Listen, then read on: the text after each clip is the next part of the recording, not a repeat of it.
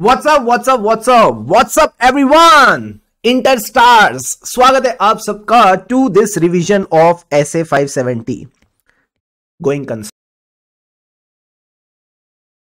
बताओ what do you mean by going concern going concern का सबसे पहली बात तो मतलब था कि एंटिटी के जो ऑपरेशन है it will continue for a foreseeable future कहीं ना कहीं एंटिटी जो अपने ऑपरेशन से कंटिन्यू करेगी फॉर अ फोर्सिएबल फ्यूचर मतलब एक लॉन्ग पीरियड तक चलेंगे।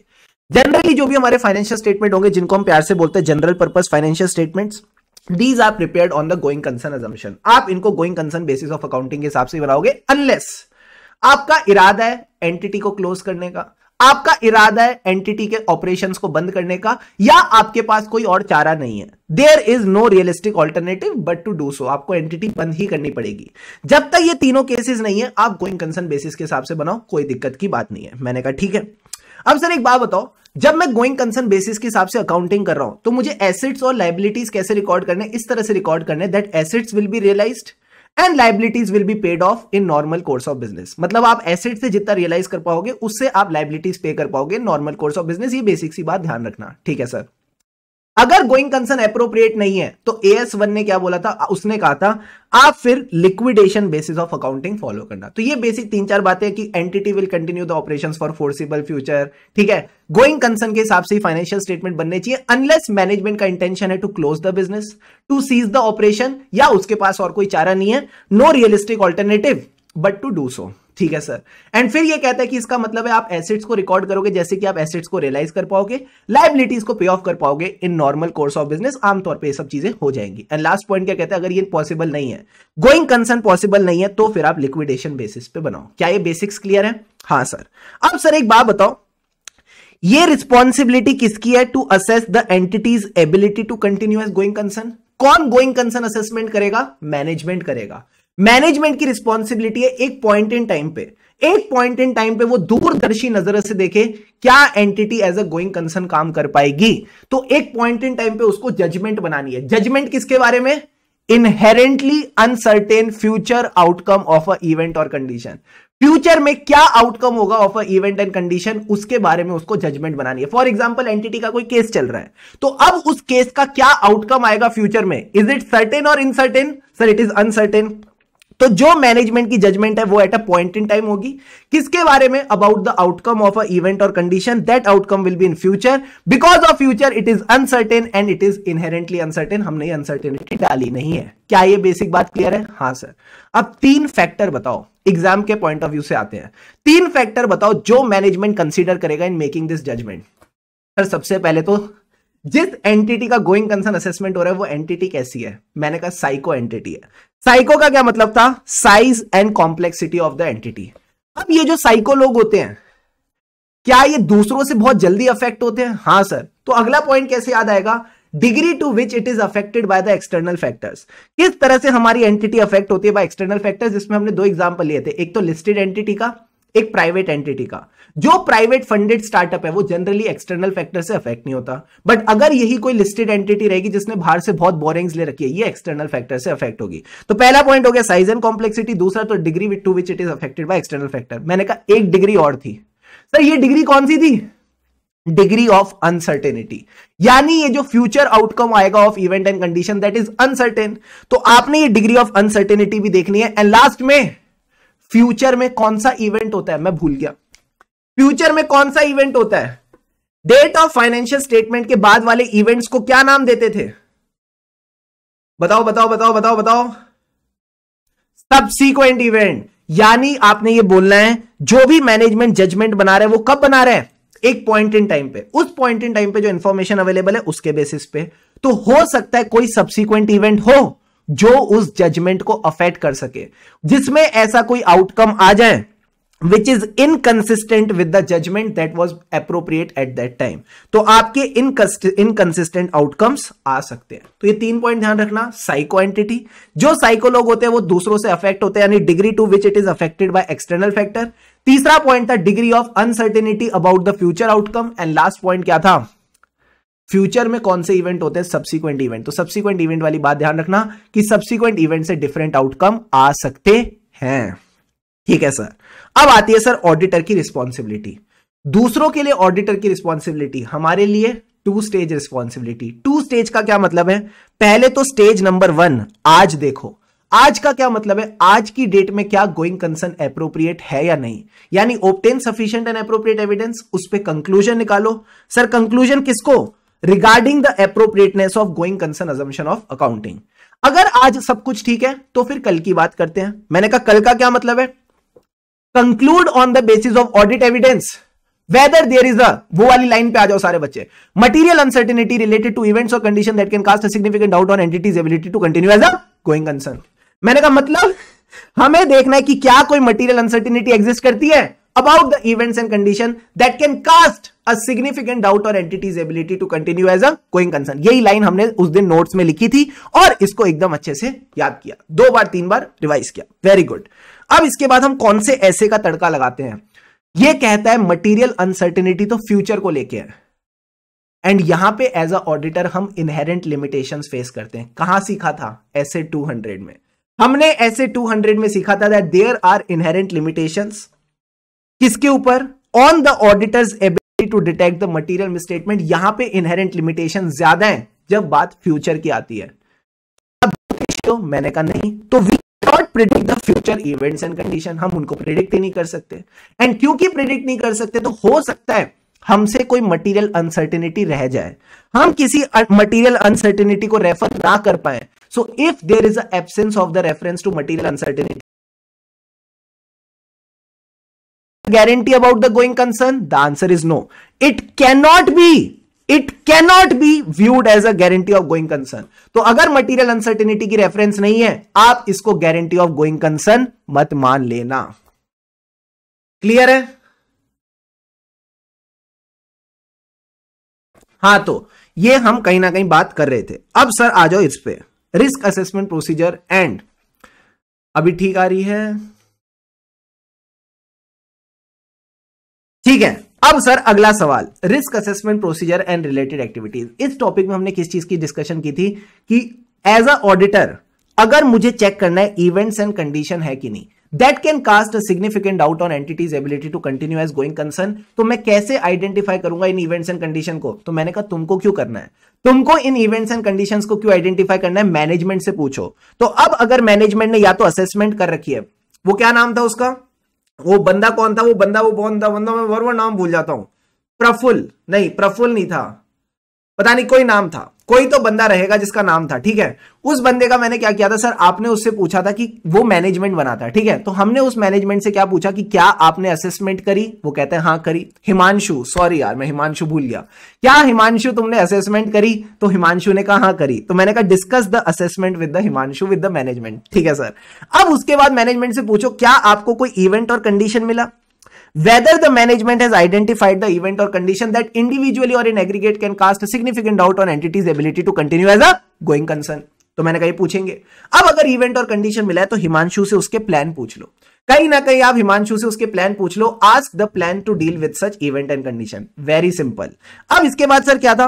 अगर उसने असेसमेंट ही नहीं कर रखी तो आप उससे क्या पूछोगे? आप पूछोगे मैनेजमेंट जब तुमने असेसमेंट ही नहीं करी तो किस बेसिस पे? किस बेसिस पे तुमने गोइंग कंसर्न अकाउंटिंग लगाई? ओ एंड फिर उसके बाद डांट लगाने के बाद उससे पूछना, क्या तुम किसी इवेंट और कंडीशन को जानते हो? Which can affect the entity's ability to continue as a going concern clear है? क्लियर है सर एंड याद रखना, जैसा मैंने ऐसे 550 में बताया था, ऐसे ही 570 में बोल रहा हूँ as a auditor you need to stay alert एकदम अलर्टनेस मेंटेन करके चलनी है। फिर मैंने कहा, अगला टॉपिक ये तो बड़ा ही प्यारा टॉपिक था। Evaluating the management assessment of going concern सबसे, हमने इस टॉपिक के साथ क्या किया था? सर, हमने इसको तीन पार्ट्स में बांटा था। सबसे पहला पार्ट क्या था? अगर मैनेजमेंट ने डिटेल्ड असेसमेंट नहीं कर रखी डिटेल्ड इवेल्युएशन नहीं कर रखी तो क्या ये गलत है? मैंने कहा, नहीं। ये सही है। हो सकता है एंटिटी ही इतनी अच्छी हो, यानी lack of detailed analysis by the management to support its going concern assessment may not prevent the auditor from concluding that the going concern is appropriate हो सकता है मैनेजमेंट की डिटेल्ड असेसमेंट के बिना भी हम ये कंक्लूड कर सकें that going concern is appropriate sir, कब? जब एंटिटी अच्छी है, जब आपकी एंटिटी एच जैसी है नेस्ले जैसी है आईटीसी जैसी है, जिसके पास्ट प्रॉफिट्स रहे हैं, काफ़ी प्रॉफिटेबल ऑपरेशन रहे हैं, उसके पास एक्सेस है टू द फाइनेंशियल रिसोर्सेज तो उसको डिटेल्ड असेसमेंट करने की ज़रूरत नहीं है। इसी तरह एज अ ऑडिटर क्या मुझे भी गोइंग कंसर्न के लिए एक्स्ट्रा प्रोसीजर्स करने की ज़रूरत है? The answer is no as a auditor you may not be required to do a detailed evaluation of the going concern sir मुझे डिटेल्ड इवेल्युएशन कब नहीं करनी? जब आपको आपके बाकी प्रोसीजर से कंफर्ट आ गया है। जब आपके बाकी प्रोसीजर से आपको कंफर्ट आ गया that the going concern is appropriate if the other procedures are sufficient to conclude that the going concern is okay क्या पहला वाला पार्ट क्लियर है? हाँ सर मैनेजमेंट डिटेल असेसमेंट नहीं करेगी अगर एंटिटी अच्छी है। आपको डिटेल प्रोसीजर नहीं करने अगर आपके बाकी प्रोसीजर से आपको एविडेंस मिल गया है। अब सर सेकेंड पार्ट क्या था? सेकेंड पार्ट था जब भी आप इवेल्युएट करोगे कि एंटिटी के साथ आगे क्या होगा तो जीवन में श्री कृष्ण ने क्या सिखाया है? सर, श्री कृष्ण ने सिखाया जैसे आपके पाप, वैसा आपके साथ आगे होगा। मतलब कर्मा वर्क्स तो मैंने कहा, आप इनके पापों को इवेल्युएट करना। सर क्या क्या इवेल्युएट करेंगे? पाप का क्या मतलब था? प्रोसेस प्रोसेस जिसके थ्रू उन्होंने गोइंग कंसर्न असेस किया। ए का मतलब है अजम्पशन क्या अजम्पशन लगाइए मैनेजमेंट ने अबाउट द फ्यूचर एंड अगले पी का मतलब था मैनेजमेंट के क्या प्लान है? मैनेजमेंट के क्या प्लान है? And the plan should be feasible तो तीनों चीज़ों को इवेल्युएट करेंगे प्रोसेस ठीक है sir assumptions and the plan to deal with the future matters got it got it sir and last point क्या था? ये तो मेरा फेवरेट पॉइंट जब एज अ ऑडिटर मैं गोइंग कंसर्न असेस कर रहा हूँ तो क्या मैं उतना ही पीरियड कवर करूँगा जितना मैनेजमेंट ने किया? हाँ. जितना मैनेजमेंट ने as per the FRF cover किया, उतना. अगर लॉ रेगुलेशन कहता है तो थोड़ा ज़्यादा भी कर लूँगा, कोई दिक्कत नहीं है. बट अगर मैनेजमेंट ने 12 महीने से कम किया if the management has covered let's say only six months तो मैं क्या करूँगा? उनको एक्सटेंड करवाऊँगा फॉर ट्वेल्व मंथ्स कहीं ना कहीं टोटल में ट्वेल्व मंथ्स कवर होने चाहिए। कमॉन यस सर तो 12 मिनट्स हो चुके हैं और इन 12 मिनट में जो कल हमारी क्लास का फ़र्स्ट हाफ़ था, हमने पूरा रिवाइज कर लिया एकदम डिटेल में। यस और नो यस सर अब सर एक बात बताओ। अगर मुझे कल को कोई इवेंट और कंडीशन मिल गया तो मैं क्या करूँगा? मैंने कहा, तुमको कुछ नहीं करना। तुमको कुछ नहीं करना, चुपचाप मैनेजमेंट के पास जाना। एडिशनल ऑडिट प्रोसीजर गए भाड़ में, हम जाएँगे मैनेजमेंट के पास में। हम जाएँगे मैनेजमेंट के पास में और उनसे पूछेंगे कि वो इन इवेंट्स और कंडीशन से कैसे डील करेंगे बट मैनेजमेंट क्या है? नलायक है। मैनेजमेंट कहती है, हमने तो असेसमेंट ही परफॉर्म नहीं करी। तो अगर मैनेजमेंट ने असेसमेंट परफॉर्म नहीं करी तो उनको रिक्वेस्ट करो टू मेक द असेसमेंट फिर मैनेजमेंट खाली हाथ नहीं आनी चाहिए, साथ में होना चाहिए प्लान प्लान की दो क्वालिटीज बताओ। It should improve the situation it should be feasible अब प्लान फीका फीका अच्छा नहीं लगता तो क्या चाहिए? कैश फ्लो फोरकास्ट अच्छा कैश फ्लो फोरकास्ट कैसे बनता है? डेटा डेटा पे वो अजम्पन लगाते हैं कि हम फाइव परसेंट ग्रो करेंगे टेन परसेंट ग्रो करेंगे, फलाना, ढिमकाना। तो मैंने कहा, जो भी डेटा है, अंदर का डेटा जो अंडरलाइंग डेटा है अंडरलाइंग डेटा की रिलायबिलिटी अजम्पशंस की अप्रोप्रिएटनेस की क्या अजम्पन सपोर्ट कर रही है या नहीं। फिर उसके बाद मैंने कहा था, सर, क्या? गोइंग कंसर्न तो किसी पॉइंट इन टाइम पे होता है। क्या उस पॉइंट इन टाइम के बाद भी कुछ एडिशनल फैक्ट्स एंड इंफॉर्मेशन आ सकते हैं? सब्सिक्वेंट इवेंट्स आ सकते हैं? हाँ सर तो आपने उन एडिशनल फैक्ट्स एंड इंफॉर्मेशन को देखना है since the date on which the going concern assessment was done and last में शेरा वाली शेरा वाली अंबे माँ, माता रानी, माता जगदम्बे माँ, मैंने कहा क्या? रिटर्न रिप्रेजेंटेशन ले लेना। रिटर्न रिप्रेजेंटेशन ले लेना बाबू, किस चीज़ को लेके? मैनेजमेंट के प्लान को लेके। Plus the feasibility of those plans आपने प्लान्स और उनकी फीजिबिलिटी को लेकर रिटर्न रिप्रेजेंटेशन लेनी है। तो this is the five step process वापस एक बार देखो। सबसे पहले क्या? मैनेजमेंट से असेसमेंट कराओ। फिर मैनेजमेंट खाली हाथ नहीं आएगा प्लान लेके आएगा। प्लान फीका फीका अच्छा नहीं लगता। कैश फ्लो फोरकास्ट चाहिए। कैश फ्लो फोरकास्ट के बाद additional facts information and last में written representation cash flow forecast में हम क्या देखते हैं? दो चीज़ें। डेटा और अजम्पशन ये इतने महत्वपूर्ण क्यों हैं? क्योंकि आईसीआई इस पे सवाल पूछता है। आईसीआई ने इस पे बैक क्वेश्चन में सवाल डाल रखा है तो yes this is very very important जो एडिशनल प्रोसीजर है, एक बार बस आप रीड करके चलेंगे, इसमें कुछ खास नहीं है। अब आती है sir last stage of this ऐसे that is the conclusion conclusion में क्या आएगा? मैंने कहा कंक्लूजन में वही है जो आपकी रिस्पॉन्सिबिलिटी थी। पहले देखो, आज गोइंग कंसर्न अप्रोप्रिएट है या नहीं। फिर देखो, कल को जाके कोई मटीरियल अनसर्टेनिटी तो नहीं। अच्छा मटीरियल अनसर्टेनिटी में दो क्वालिटीज क्या होती है? लाइकलीहुड और मैग्नीट्यूड। लाइकलीहुड का मतलब है what is the probability of occurrence magnitude मतलब कितने अमाउंट की। हमको भूकंप से डर नहीं लगता। किससे डर लगता है? जल्दी से बताइए। हमको भूकंप से डर नहीं लगता। बट अगर मैं कहूँ, कल भूकंप आने वाला है, और उस भूकंप का जो मैग्नीट्यूड है, आठ, नौ, दस हो सकता है। क्या अब तुमको डर लग रहा है? हाँ सर तो there should be a likelihood there should be a magnitude ये दोनों बातें दिमाग में रखो। कमॉन क्लियर है सर अब सारे बच्चे बताओ। अगर मटीरियल अनसर्टेनिटी है तो तुमको क्या चाहिए? What do you people need if there is a material uncertainty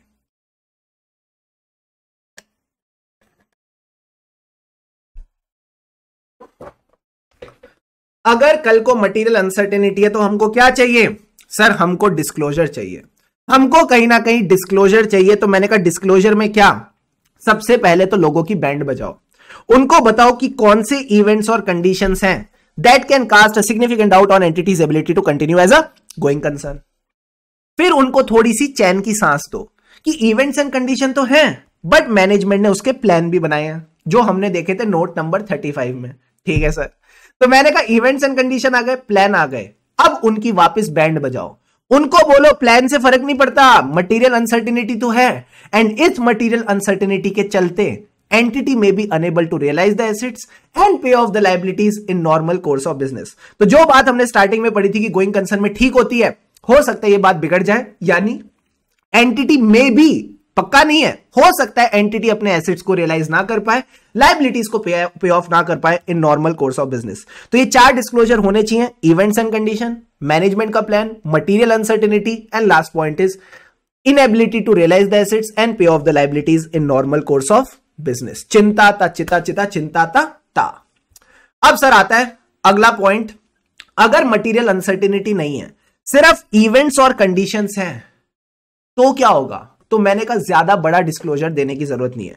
If there is no material uncertainty only the events and condition just disclose the events and condition और कुछ करने की ज़रूरत नहीं है।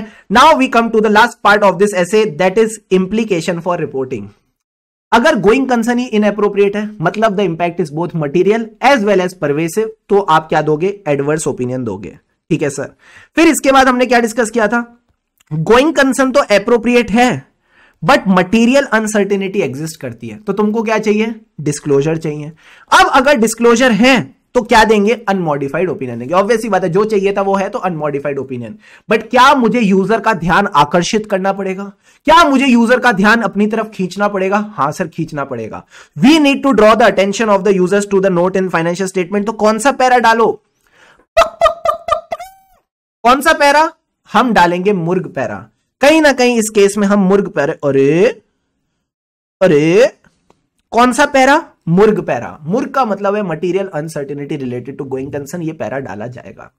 क्लियर है? क्लियर है सर इससे आप अटेंशन ड्रॉ करना। आप बोलना there is a material uncertainty साथ ही साथ बोलना our opinion is not modified with respect to this matter अब सर अगर हमको जो डिस्क्लोजर चाहिए वो नहीं है तो तो फिर एडवर्स और क्वालिफाइड ऑफ़ ओपिनियन ये दोनों में से कोई जो आपको ठीक लगे उस टाइम पे आएगा।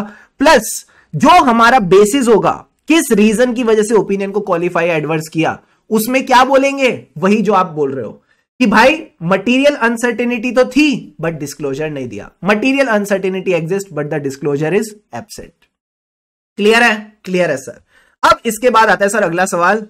What if the management is unwilling unwilling to do the going concern assessment तो इसमें ऐसा माना जाता है कि अगर मैनेजमेंट ने असेसमेंट ही नहीं करी और हमारे पास एविडेंस ही नहीं है तो दो ऑप्शन ही बचते हैं qualified and disclaimer of opinion कहीं ना कहीं इस केस में हम क्या करेंगे? मैंने कहा, इस केस में या तो अपना ओपिनियन क्वालिफाई करेंगे या डिस्क्लेमर करके आगे बढ़ेंगे। जल्दी से बताइए, यहाँ तक क्या सारी बातें क्लियर है? Come on everyone with me in the last part of this SA 19 minutes हुए बस। और तुमने सारा का सारा ज्ञान प्राप्त कर लिया।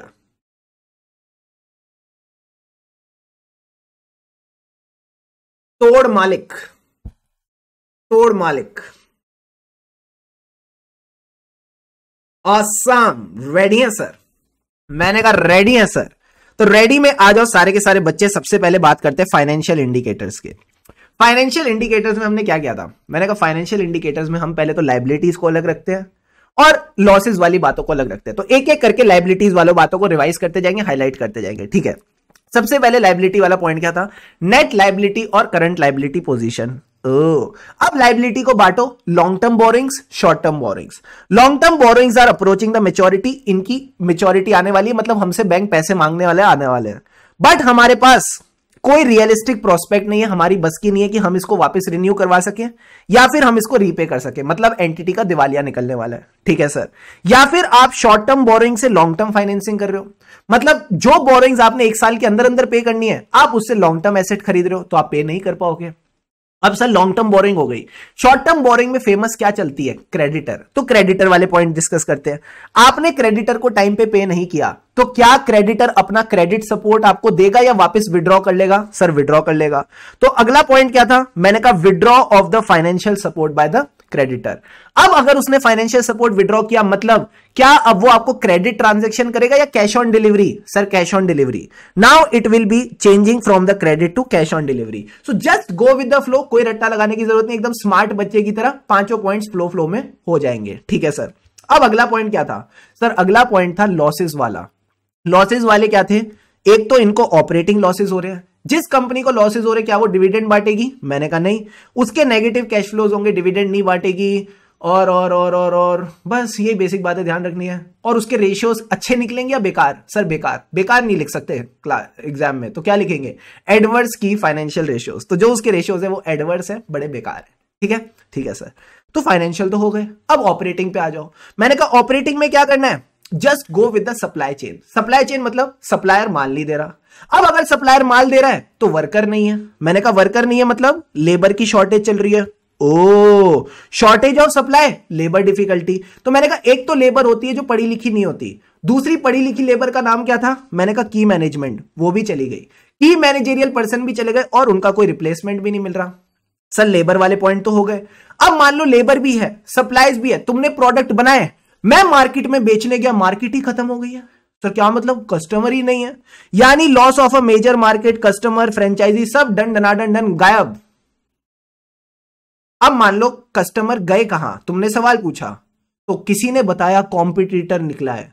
There is a emergence of a successful competitor तो ये आपका पॉइंट आ गया। मैनेजमेंट कहती है, सब बर्बाद, चलो घर अपने। मैनेजमेंट कहती है, सब बर्बाद, घर चलो, बंद करो एंटिटी को निकल जाते हैं यहाँ से। तो इसका मतलब क्या है? मैनेजमेंट का intention to liquidate the entity तो पाँचों पॉइंट हो गए। तो बस आपने सप्लाई चेन के साथ चलना है। मज़े लेने हैं। अब सर आ जाओ अदर इंडिकेटर ये तो मेरा फेवरेट है।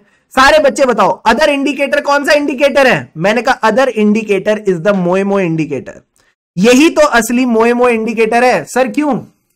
सबसे पहले आपने नॉन कंप्लायंस करी। सर नॉन कंप्लायंस किसके साथ? किसी स्टेच्यूटरी या कैपिटल रिक्वायरमेंट के साथ बेसिकली लॉ रेगुलेशन के साथ नॉन कंप्लायंस करी अब जब आप नॉन कंप्लायंस करोगे तो आपके ऊपर क्या होगा? सर लीगल केस होगा। कहीं ना कहीं there will be legal case there will be pending legal proceeding yes और नो यस सर अब आपने भगवान से प्रार्थना करी। हे ईश्वर, हे प्रभु, मेरे से जितने भी काम गलत हुए प्लीज़ उनको माफ़ करना और लॉ चेंज करवा दे। प्लीज़ लॉ चेंज करवा दे। ईश्वर ने लॉ चेंज कराया। ईश्वर ने लॉ चेंज कराया। There was a change in the law regulation but उससे भी एंटिटी एडवर्सली अफेक्ट हो गई। उससे भी एंटिटी एडवर्सली अफेक्ट हो गई, यानी change in the law also adversely affected the entity अब जो ओनर था, वो कहता है, यार, अब तो मतलब जीना ही दुश्वार है। पहले मैंने नॉन कंप्लायंस करी, फिर मेरे ऊपर लिटिगेशन हुई, जिसमें इतनी भारी पेनल्टी लगाई कि मैं पे ही नहीं कर पाऊँगा। अब लॉ चेंज हुआ तो फिर मेरी बैंड बच गई। हे ईश्वर, अब तो भूकंप ही आ जाए। हे ईश्वर, कहीं ना कहीं फ्लड ही आ जाए और मैं उस फ्लड में बह जाऊँ। तो अब सर क्या हुआ? भूकंप भी आ गया, फ्लड भी आ गया बट इस बंदे ने इंश्योरेंस नहीं ले रखी थी। क्योंकि इंश्योरेंस नहीं ले रखी थी तो इसके साथ क्या हो गया? मोए मोए। तो मैंने कहा यह बात याद रखना कि अब अगला पॉइंट था कैटेस्ट्रॉफ आया। Catastrophe means a calamity natural calamity और something like that and it was also uninsured और अंडर इंश्योर्ड ये चार बातें आपकी इसमें आ जाएँगी। क्या पहले तो नॉन कंप्लायंस विद रिक्वायरमेंट तो क्या होंगी? लीगल प्रोसीडिंग्स होंगी। लीगल प्रोसीडिंग्स के बाद आपने लॉ चेंज कराया, उसने भी आपकी बैंड बजाई। एंड आखिरी पॉइंट इज़ कैटेस्ट्रॉफ अनइंश्योर्ड और अंडर इंश्योर्ड कैटेस्ट्रॉफ जहाँ पे आपकी बैंड बज गई। Got it got it sir यहाँ आपका पूरा का पूरा S A five seventy gets done डनाडन done in twenty four minutes अभी हो रहे हैं। ट्वेंटी सेकेंड्स चलो। तो that's all for right now I hope you enjoyed this SA 570 कहीं ना कहीं बहुत ही प्यारा ऐसे है। मैं मानता हूँ ये वो ऐसे है जो आपको एक्चुअल में इंटरस्टार बनाता है।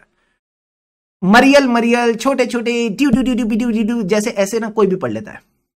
But you people are amazing ठीक है? जिस तरह से अपन ने कवर किया ना, धूम मचा दी आप सब तो now make sure everyone you go through this SA properly जो मैंने आपको स्टार्टिंग में, जो मैंने आपको स्टार्टिंग में एक स्ट्रक्चर बना के दिया था ना हाँ इसी स्ट्रक्चर में आपने बस इसकी रिवीजन को ध्यान रखना है कि पहले मैं इंट्रो पे ध्यान दूँ, फिर मैं मैनेजमेंट की रिस्पॉन्सिबिलिटी पे, फिर मैं ऑडिटर की रिस्पॉन्सिबिलिटी पे, कि पहले क्या टू स्टेजेस है, फिर उसके प्रोसीजर क्या है, फिर उसका कंक्लूजन फिर उसकी रिपोर्टिंग एंड आखिरी में फिर ये एग्ज़ाम्पल वाली चीज़ को just keep it towards the end so that you end this SA on a very happy on a very naughty on a very amazing mode ठीक है? So that's all for right now इसी तरह खुशी खुशी मतलब आगे पढ़ते रहे। खुशी से पढ़ेंगे तभी आगे बढ़ेंगे। सारे क्वेश्चंस मैंने आज आपको क्लास में करा दिए। तीन क्वेश्चंस मैंने जो आपको इंपॉर्टेंट मार्क कराए थे, इसमें से आप एक क्वेश्चन को क्वेश्चन ऑफ़ द डे ले सकते हो which I feel should be question number two keep the question number two as the question of the day ठीक है? तो हैव एन ऑसम डे हेड हमें राही ऑडिट के। फिर मिलेंगे। चलते चलते टेक केयर ऑल